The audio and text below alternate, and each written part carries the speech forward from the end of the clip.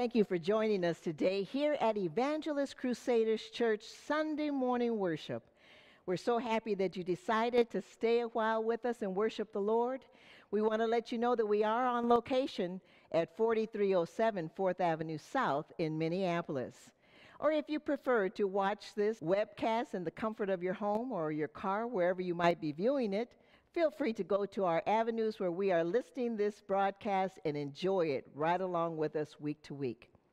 You can pull it up at our website, www.evangelistcrusaders.com. You could also pull us up on Facebook and YouTube at Evangelist Crusaders Church. Now, you know, we have been so blessed by those of you who have been supporting us down through these many months with your prayer support and your financial gifts. And we just want to say thank you and God bless you. Invite you to continue to give if you so desire to do so. Go to our Givelify app, which is located on our web page. There is a link conveniently there for you. Or you can download the Givelify app to your phone. You can find us at Evangelist Crusaders, and our address is 4307 4th Avenue South. We have also been blessed by the written correspondence that some of you have sent. It blesses us to know that this ministry is being a blessing to you.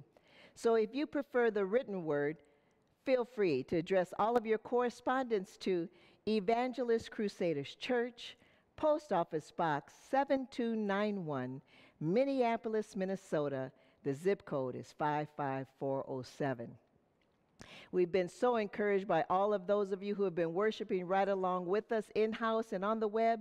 And we want to just say that we are praying for you to be encouraged and have hope. Now, we're going to go directly into the Word of God at this time.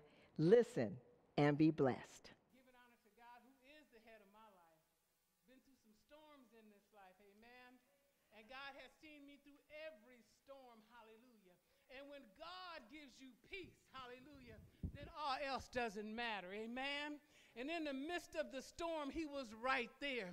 In the lonely nights, shedding tears and crying, He was right there. When, I was concerned about this child or that child, He was right there. Hallelujah. I've learned to trust in God. I've learned to depend on God. Hallelujah. Have we learned to depend on God? No matter what may come or what may go, no matter how tall the mountain is, hallelujah, I'm ready to climb that mountain. Glory to God. Because my faith will see me through. And no matter how deep the valley is, been in some hurt, been in some pain, been in some disappointment, saints of God, but He's carried me through. And what the, the scripture says on eagle's wings. And I heard Reverend Shirley say that, that about that dwelling in the secret place of the Most High. I'm not just saying that I'm dwelling in the secret place, or you're not just saying you're dwelling in a secret place, but this is a 24 hour, seven days a week time that you're dwelling in his secret place. And when he said, He that dwelleth in the secret place of the Most High shall abide under the shadow of the Almighty. And we will say of the Lord, He's our refuge and our strength, our God, and in Him will we trust? Let's look to the Lord. Father in heaven, in the mighty and most precious name of Jesus, I thank you for this time to be able to elaborate on your word and encourage your people, oh God. I pray that you would have your way. I pray that you would be glorified and that you would ma- be magnified. And I pray that this word will help someone along the way. In Jesus' name I pray. Amen. Can I get amen? Jeremiah, the 32nd chapter. And if I could title this message, I would say, Is there anything too hard for God? I would say to trust in the Lord with all your heart, soul, mind, and strength. And the reason why I'll be talking about Jeremiah today is because he stood and he did some things that he even had to question himself was that the right thing to do? But he sought the Lord God Almighty. And I'd like to read the scripture, Jeremiah 32 27, and I'll be reading from the King James Version. And it reads as follows Behold, I am the Lord, the God of all flesh. Is there anything too hard for me? My question to you is there anything too hard for God? And in chapter 32, Jeremiah is in prison in Jerusalem. He's the, and Jerusalem is under siege by Nebuchadnezzar. The land had been captured due to their sins. And so, due to their sin, um, they, that God was going to just tear the city down. He was going to destroy the city because, and just to give them to name a few, the God's people was worshiping other gods rather than the Almighty God. They set up idols in the temple. You're talking about the household of faith defiling God's house. They would sacrifice their sons and daughters to this god Moloch. This, and God was not happy with this. The Bible says, Thou shalt not kill, amen, and thou shalt worship no other gods. God abhors sin. And see, sin is what separates us from God. And God was angry at his people. So he was taking everything out. He wanted, but he promised them that he would restore this city. And so I'm not going to be talking about sin today. I'm going to be talking about trusting God. I'm going to be talking about how we as people of God should trust him, how we as believers should trust him, and, and, and how God forgives us, you know, for the wrong that we've done. He, re, he will re, forgive all mankind for the wrong they have done. Scripture says, as far as the east is from the west, so far has he removed our transgressions from us. The scripture says that God forgets. he forgets all of our sins. And so, here in this passage of scripture and in this chapter here, God was going to forgive them and he was going to heal their land and he was going to restore their land. But this is what happened.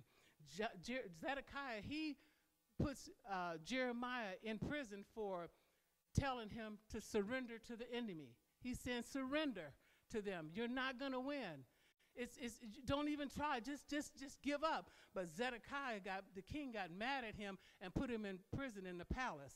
And so um, in Israel, Judah's darkest history, while Jeremiah is in prison, God uses a man to speak to him to sell him some land. And this land, here they are outside, they're fighting. They've already seized the land, they've already taken it. And Jeremiah, he buys the land.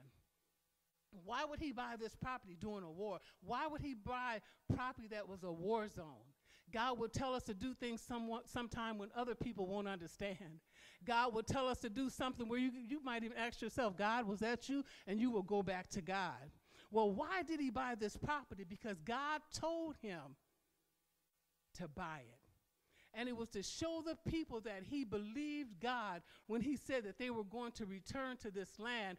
And they did because God is a God of his word. Whatever you're going through with today, know that God is a God of his word. So Jeremiah did this transition in front of all the officials. And then he, he after he had purchased the land, then he he, he, he gave the deed and the land property to uh, the secretary, which was a scribe. I believe his name was Baruch. And he takes it, and when he takes this, Jeremiah tells him to wrap this up in, in the pottery and seal it up real good and save this, pardon me, uh, for many years. That's what he said.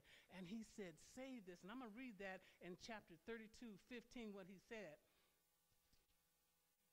after he gave it to him, he said, For thus saith the Lord of hosts, the God of Israel, houses and fields, vineyards shall be possessed again in this land.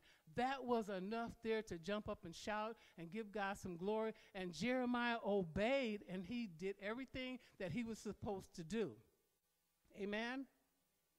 So, and then he told Baruch, which was the scribe and the secretary, that everything is going to return to normal. In a time of war, in a time of chaos, and in a time you would think the people would have been selling land rather than, than buying land in a war zone and uh, that had already been captured and, and, and they seized it and they were locked in. But Jeremiah had a question. and it was, it was too hard for him to answer. During all, the, he, he began to think, did I, did I do the right thing? And wait a minute, hold on. What did I just do? He thought about it after. And then he said, Well, I just brought land in a war zone. He went to God. And Jeremiah brings this question to God. He didn't bring this question to anybody else. He went to the source. He went to God Himself, who told him that everything was going to be returned to normal. Jeremiah's faith kicked in, but yet and still he had just a little bit of doubt there, wondering if he had made the right decision. Have you made the right decision today in your situation? Huh. Well, praise the Lord. But I want to read this prayer because this prayer is so touching because Jeremiah is reminding God in his time of doubt, in his time of wondering, did I do the right thing? So he goes to God and he talks to God about it. And I want to read Jeremiah 32, starting at verse 16. And this is the prayer of Jeremiah. It says, Now when I had delivered the evidence of the purchase unto Baruch, the son of Neriah, I prayed unto the Lord, saying, Ah, Lord God, behold, thou hast made the heavens and the earth by thy great power and stretched out hand and there is nothing too hard for thee. He's acknowledging nothing's too hard for you, God. Even though I think I made the right decision here, and I knew it was you, but then I had some little like, I, I don't know. I, I, hope it was right. Please forgive me, God, for making this choice in a buying land in a war zone. But but but but I need you, God. But I'm sorry if I made the wrong choice. All right. Verse 18, thou shewest loving kindness unto thousands, and recompenses the iniquity of the fathers into the bosom of their children after them. The great, the mighty God, the Lord of hosts is his name. Great in counsel and mighty in work, for thine eyes are open upon all the ways of the sons of men, to give everyone according to his ways and according to the fruit of his doing, which has set signs and wonders in the land of Egypt even unto this day, and in Israel and among other men, and has made thee a name as at this day, and hast brought forth thy people Israel out of the land of Egypt with signs and with wonders and with a strong hand, and with a stretched out arm and with great terror, and hast given them this land which thou didst swear to their fathers to give them, a land flowing with milk and honey. And they came in and possessed it, but they obeyed not thy voice, neither walked in thy way. They have done nothing of all that thou commandest them to do. Therefore thou hast caused all this evil to come upon them. Behold, the mounts, they came unto the city to take it, and the city is given into the hand of the Chaldeans that fight against thee because of the sword and of the famine and of the pestilence, and what thou hast spoken is come to pass. And behold, thou seest it. And thou hast said unto me, now listen to this.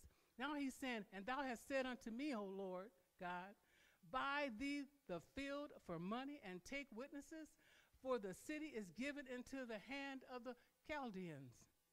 Then came here, God is speaking to him as he's praying to him. He took his question to God in prayer. And so here it is, verse 26. Then came the word of the Lord unto Jeremiah, saying, Behold, I am the Lord, the God of all flesh.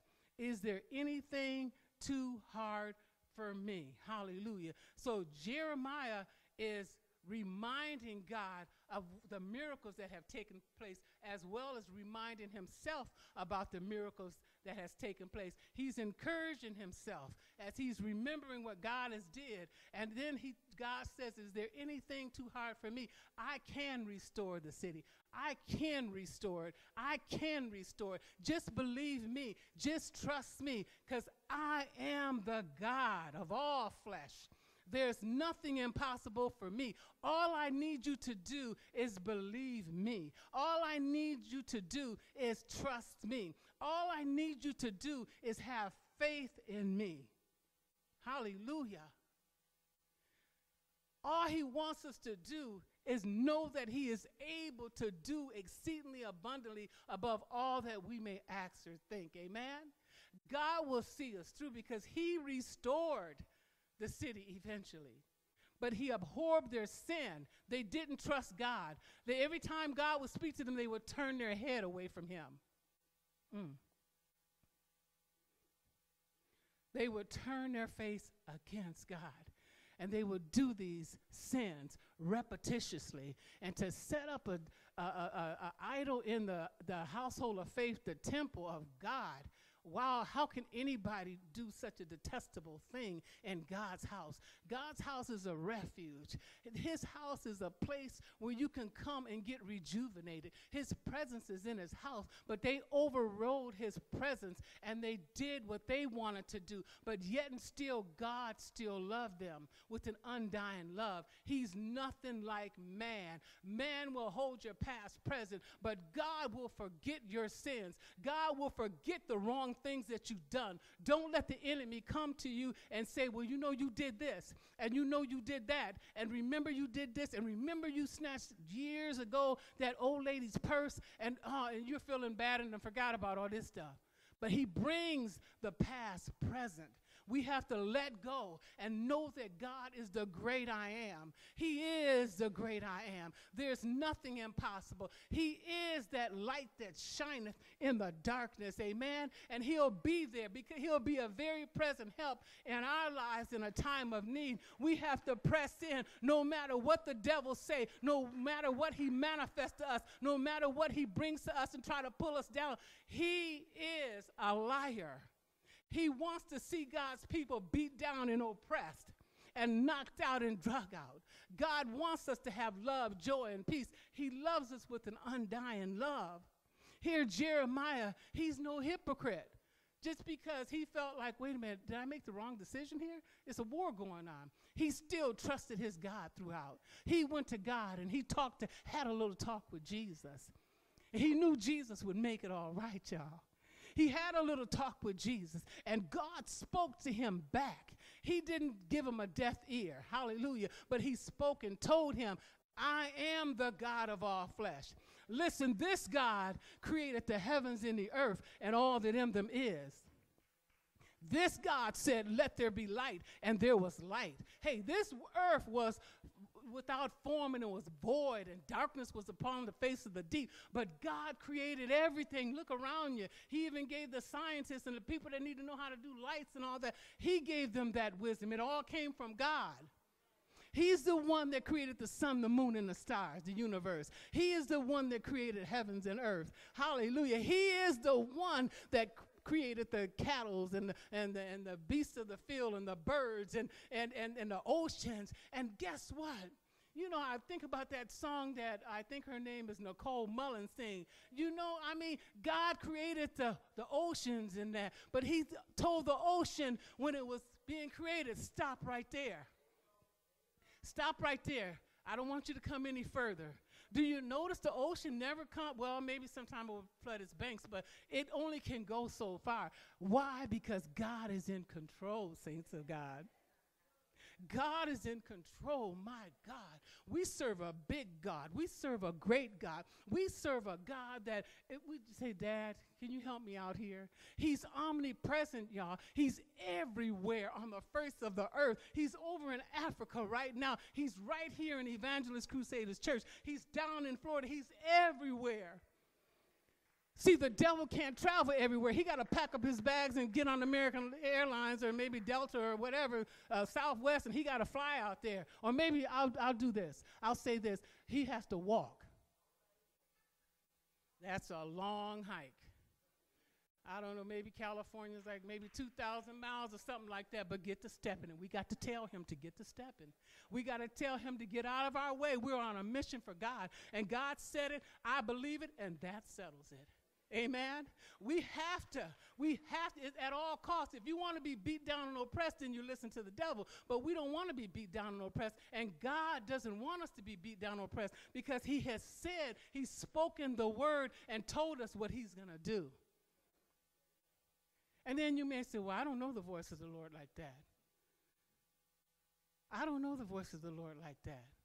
Well, I believe that your conscience will tell you to do what God wants you to do. I'm not saying it's the voice of the Lord, but if the, the if the conscience tell you, here you're going to get ready to commit a crime, and the conscience is saying, no, don't do that, it's wrong.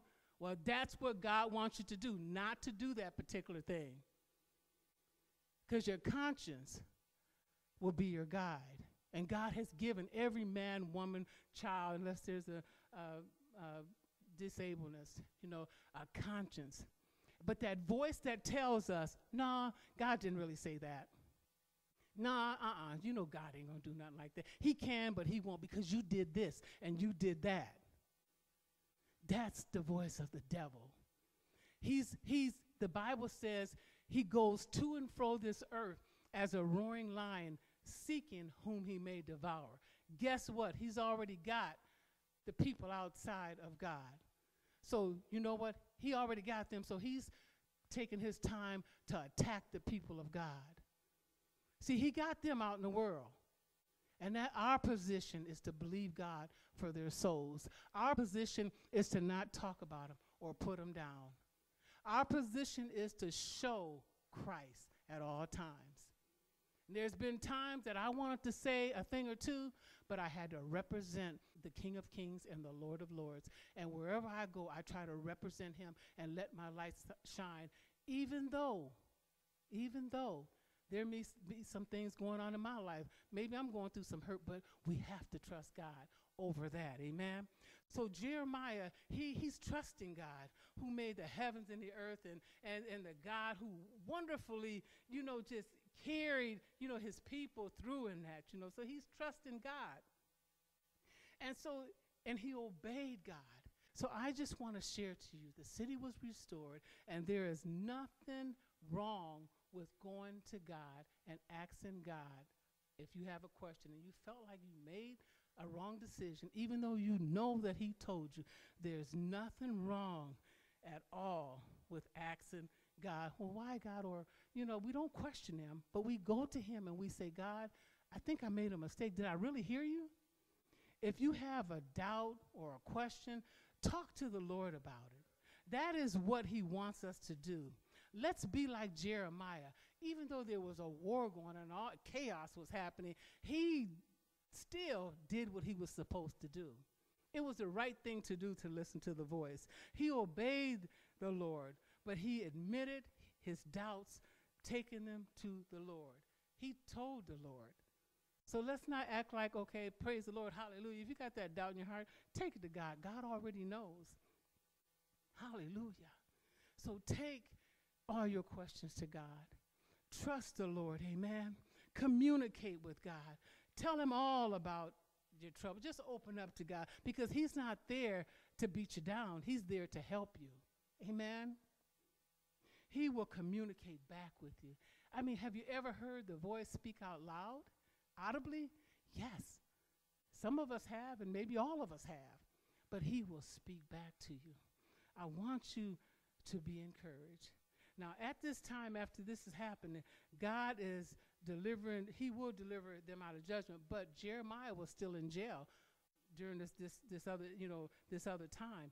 And so that's when God spoke to him. Sometimes when you're in the valley, when you're in the valley, you got to talk to God. Amen. So all the time you don't want to be on the mountaintop because if you're on the mountain, it'll be good to be on the mountaintop. But if, if, when you're on the mountaintop, everything is going great, everything is going good. I mean, you ain't going through no testing or no trials or nothing. But when you're in that valley, you can learn something in the valley. It helps you to be stronger and it helps you to stand tall, especially when you're trusting God. And when you're trusting God, you go, wow, God brought me through that. That's why we all have testimonies because of God. He brought us through that. So we grow by our tests. And that's the way it was supposed to be. We grow by them. You know, and then we just keep climbing and going. See, people don't want to go through, but we, we must go through. I mean, it's a big world out there. I mean, you've had, been through some things and done some things. Our mission is to go into the highways and byways and compel unto men and women to come unto Jesus Christ. Our mission is to pray each other through. Our mission is to pray for the unbeliever. Our mission is to believe God that He will deliver the drug addict. Our mission is to believe God that He will deliver the alcoholic. Our mission is to believe God for their salvation. Not to stand and discuss them and talk about them in a negative way, because we've been there too, and God forgave us something happened recently in my life when I realized that God had forgiven me, so I had to forgive others. And it, I forgave to a point where others looked at me like I shouldn't have forgave. But I had to represent who was in my life and who was is the head of my life and forgive and trust God. So, you know, they did me wrong, but God help me to get through this. I'm so tired and I'm stressed out. I keep repetitiously going through this and this is just too much. I'm having problems. I can't pay my mortgage. I can't I can't get a car to get to work. I can't I don't have no food in my cabinets. I, I need a place to live. God will provide. He is Jehovah Jireh. He's not going to leave you, and neither is he going to forsake you. And it's okay to give God a round of applause. Amen. Hallelujah. So I just want you to know the moral of this story is that the city eventually was restored. And you have faith in God. Don't be detoured from that. Amen. Don't let situations get you down because God is in control of our lives. He is. Don't let the situation hold you back. God is in control. And wow, when I think about it, just before I close, probably in a minute or two, um, I remember I didn't, I had to move from a particular house, Reverend Maria. I had six children and was seven months pregnant with the seventh one. I had nowhere to go. And I purposed in my mind, I was saved and filled with the Holy Ghost. And I said, well, I felt God was with me, but my own thinking was, I'll get a hotel and I'll just pack as much as I can in this hotel room and just have all my babies together. I didn't think about foster care. It, that wasn't even an option for me. I didn't think about trying to do it on my own, but that, you know, get this hotel room. And I tell you, it was just a few days before I was riding down the street and I saw this house, Reverend Shirley, and it was the biggest house on the block. And I need, because I was getting ready to have seven children, and I needed this house. I, I took the phone number down. Before I took the phone number down, I jumped out the car and I ran up to the door and I saw the front porch, and it was a cement porch. And you know, I didn't have to think about wood or anything, you know, repairing the wood. It was a cement porch. I just put some carpet over the, the cement, right? So I took the number down and I called the, um, the owner to the property. And he said, Sure, sure. And I just felt God 100%. I said, Well, and I didn't want him to know that I was pregnant. So I met him at the house. And um, I was trying to hold my stomach in when I got out the car. But you know, seven months pregnant, that's impossible. you know, you having eight, nine pounders, you know. and so um, I got on here. First thing he noticed was, he said, You're having another one? And I said, Yes, I am. And then I just straightened up my back. It is what it is. Either I'm going to get this place or I'm not going to get this place. I still got a hotel that I'm going to go to. So um, he rented me the place, and he was the nicest man ever. And it was like two days before I had to be out that I got the house for my children. And I was there for 24 years. I didn't have to bounce my children around everywhere, school to school, house to house. You know, I didn't have to do that. It, but it looked impossible for me but God took care of it. Don't worry about it. Don't stress out. Just walk in the promises of Almighty God. Amen. Walk in the promises. Trust Him. And don't be detoured from what He has said. Read the Bible. This is where we get our strength. Pray. That's where we communicate with God and get our strength. God bless you. For some of you out there that don't know what my sister was talking about, trusting in God. Today can be that day for you. The Bible says that today is the day of salvation. If you don't know Jesus Christ as your personal Savior, it's real simple. He's won and He's calling and He's, he's, he's letting you know through the Word of God He's letting you know through different things that happened to you this week that He loves you and He wants you to be saved. He wants you to have that assurance, that blessed assurance that you too can trust in Him, believe in Him, can have eternal life.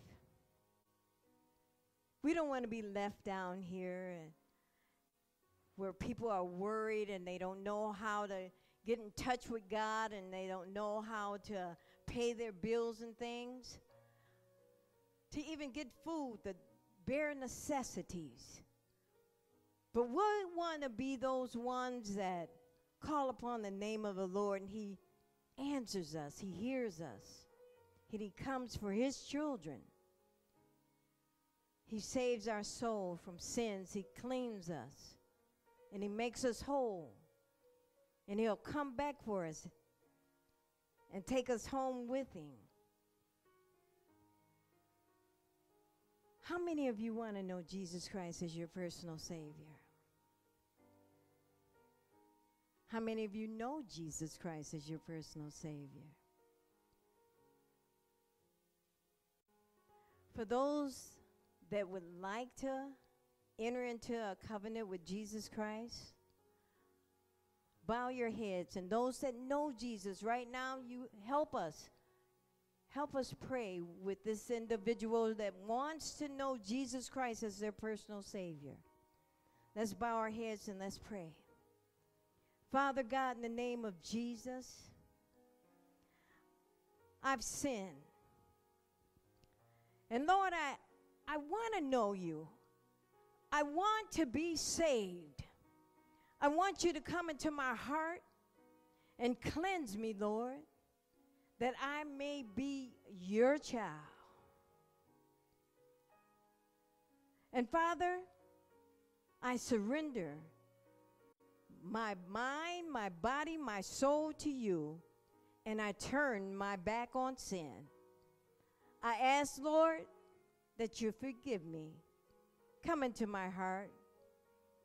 Save me. Make me that new creature in Christ Jesus. Now, if you've done that,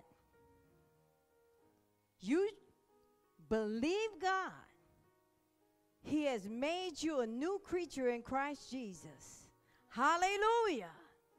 You too can have salvation. You too are born again Christian. You too don't have to worry. Hallelujah. Hallelujah. Hallelujah. God is good. It's just that simple. Glory to God.